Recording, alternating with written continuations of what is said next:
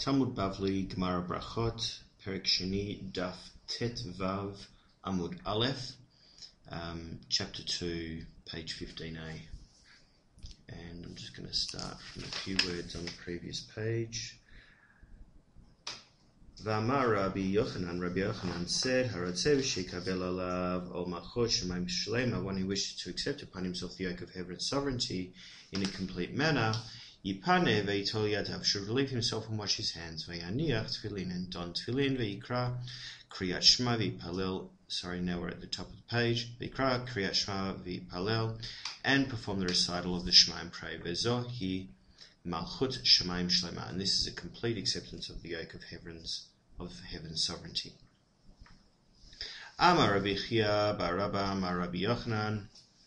Rabbi Chia bar Rabba said in the name of Rabbi Yochanan, Kol hanifne benotzel yadav, anyone who relieves himself and washes his hands, umaniach tefillin, and dons tefillin v'korei kriya shma v'mipalel, and performs the recital of Shema and praise, ma'ale alav hakatuv ke'ilu v'anat misbeach. Scripture regards him as if he built an altar, the v'ikriv alav korbanin, offered upon it a sacrifice, dichtiv erchatz benikayon. Kapai va'asovava et mizbachecha Hashem. I wash in cleanliness my hands and circle around your altar Hashem. Amar le Rava, Rava said, this is to Rab Chia Barava, Lo savar la mar ke'ilo taval, does not master hold as if he immersed and put his entire body in the mikvah. Dichtiv erchatz benikayon. For it says, uh, it said before, it is written, I wash in cleanliness. Velo katav archit kapai, and the uh, and the uh, and it did not write, I wash my hands. Amar le Ravina le Rava. Ravina said to Rava, Chazei mar hai tzurva merabanan. Has the master seen this young rabbinical student, Data Mimarava Vamar, who came from the west, from Eretz Israel, and said, Mi she'ein lo ma'im lirchot yadav, one who does not have water to wash his hands before prayer, mekaneach yadav be'afa uvitzror uvikismit, should clean his hands by rubbing them with earth, or with pebbles, or with chips of wood. Amalei, Shapir Kamar, the student has said, well, mi ktiv erchatz b'mayim.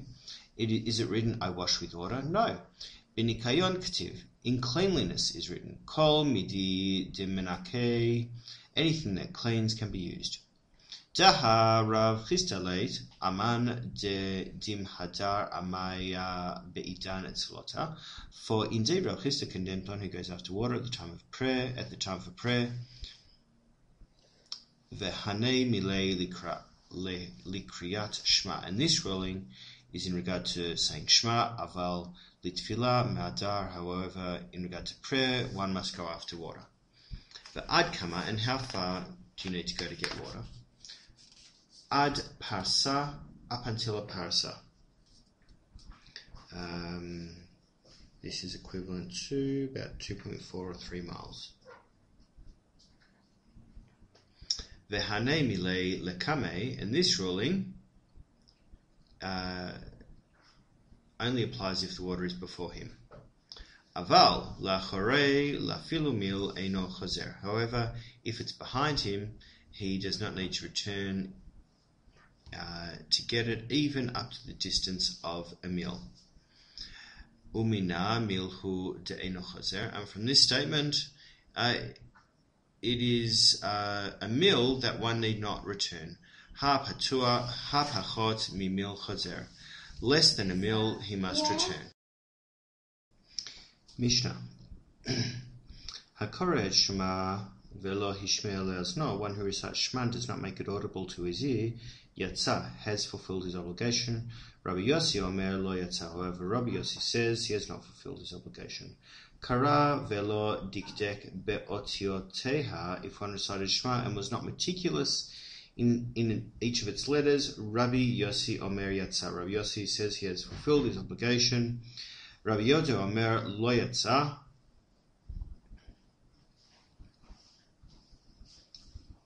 Uh, Rabbi Yoda says that he has not fulfilled his obligation. Hakare lemafreya lo yatsa. One who recites Shema out of sequence has not fulfilled his obligation.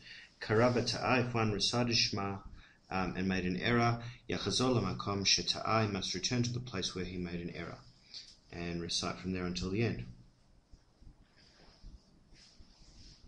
Just scroll down. so we're going to start from the Gemara, which is about halfway down the page. On the screen, it's on the top of the screen, Gemara. Gemara. Maitama de Rabbi Yossi, what is Rabbi Yossi's reason uh, that the Shema needs to be audible? Mishum dichtiv Shema, because it's written here.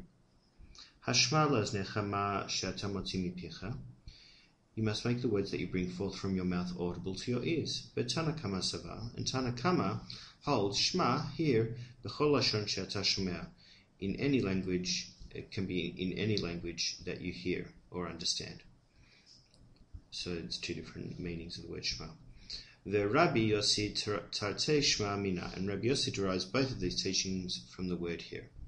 Tanan Hatam, we learned in a Mishnah, Cheresh ha medaber ve'eno shomea, a deaf person who can speak but cannot hear. Lo yitrom may not separate truma ve'im taram, but if he did separate truma, truma to truma, his truma is a valid truma. Man Tana Mantana Cheresh Hamedaber Ve'eno Shomea, who taught um, a deaf person who can speak but cannot hear about the truma separation, Diavad Ein. After the fact, uh, it is indeed valid. De Lechatchilalo, but initially it should not be performed. Amar Rav Chisda, Rav Chisda said, Rabbi Yossi here, it is Rabbi Yossi's teaching. Titnan, for we learned in the Mishnah, Hakore et Shema velo azna. One who recites the Shema and does not make it audible to his ears, Yatza, has fulfilled his obligation. Divrei, Rabbi Yoda, these are the words of Rabbi Yoda. Rabbi Yossi Omer, Lo Yatza has not fulfilled his obligation.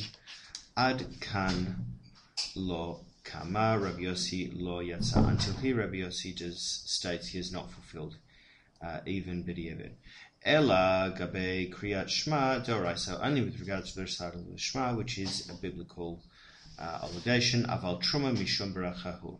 But for truma, uh, because the blessing um, uvracha drabanan, and the requirement to say a blessing before is of a rabbinical origin. Velo bivracha talia milta. And furthermore, this is not this matter is not dependent on a blessing. I'll just scroll down to the bottom.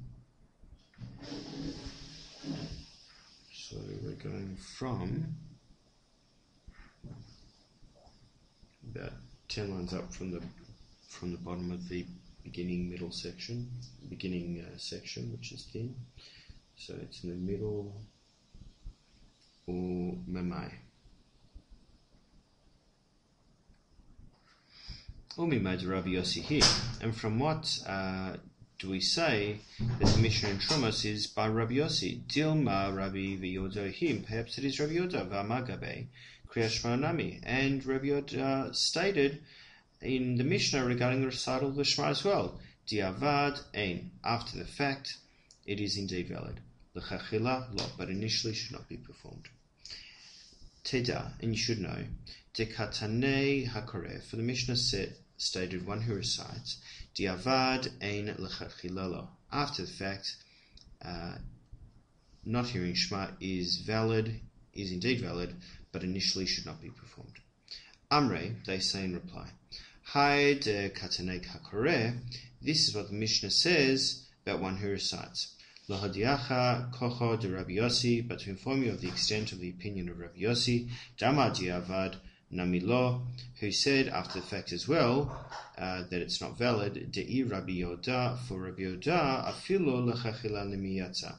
Even in the first instance, one has fulfilled his obligation.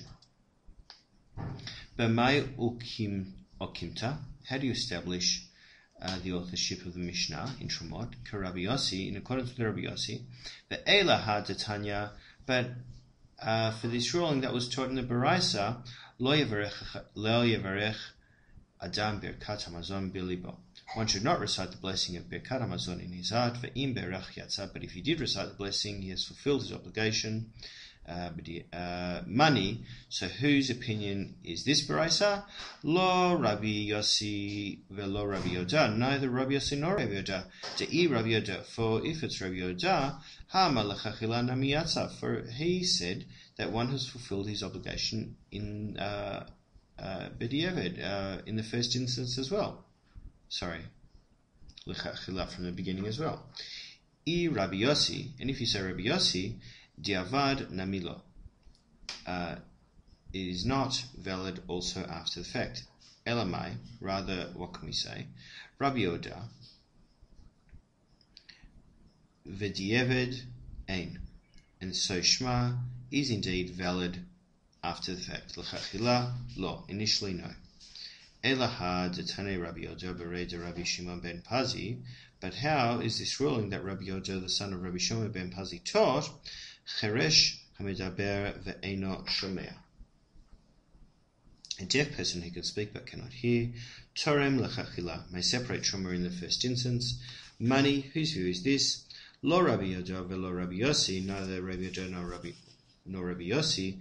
I Rabbi Yoda, for if you say Rabbi Yoda, Hama diava ein lechachila.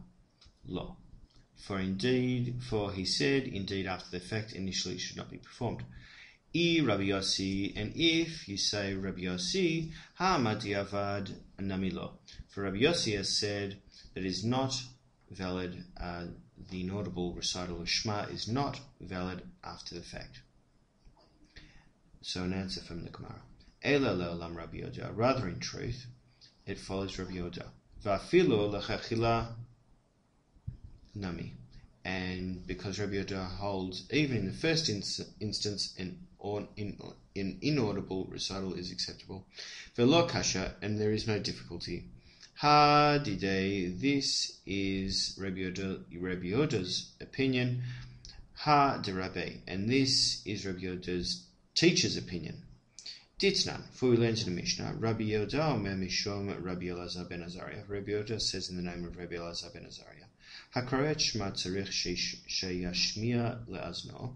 One who recites the Shema needs to make it audible to his ears. Shenem, as it says, Shema Yisrael Hashem Elokeinu Hashem Echad.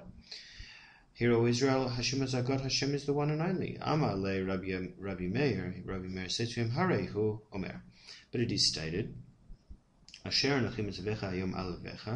I command you this day be upon your heart. Achar kavanat halev hen hen hadrim. Pursuant to the concentration of the heart are these very words. So concentration is important. Hashtadati tilahachi. Now that you have come to this, afilu tema Rabbi Yoda karabe svirale. You can even say Rabbi Yoda concurs with his teacher. Vilokasha, and still, and there is no difficulty. Ha Rabbi Meir, and Rabbi Meir, Ha Rabbi Yoda.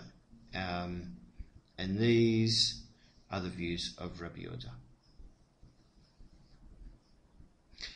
Tanan Hatam, we learned in a Mishnah. Hakol kesherim likrot et hamegillah. All are, all are qualified to recite the Megillah. Chutz me cheresh katan, except for one who is deaf, a deranged person, and a minor. The Rabbi Yoda machshir but Rabbi Yoda declares a minor qualified. Man tana cheresh di avad namilo. Who is the Tana after the fact as well that uh, the Megillah recital of a, deaf, of a deaf person is not valid? Amar Rav Matna, Rav Matna said, Rabbi Yossi it's Rabbi Yossi Titan for we learned in Mishnah. Hakore et Shema velo hishmea leozno. One who recites the Shema does not make it audible to his ear. Yatsa has fulfilled his obligation. Divrei Rabbi Yoda. These are the words of Rabbi Yoda. Rabbi Yossi Omer. However, Rabbi Yossi says lo yatsa. He has not fulfilled his obligation. Just as Rabbi Yossi invalidates an inaudible Shema recital, so too, so too he would totally invalidate the Megillah recital of a deaf person. Mimad Rabbi Yossi here, From what uh, do we say that the Mishnah is following Rabbi Yossi? Vidyavad namilo, and after the fact as well, that a deaf person's Megillah recital is not valid.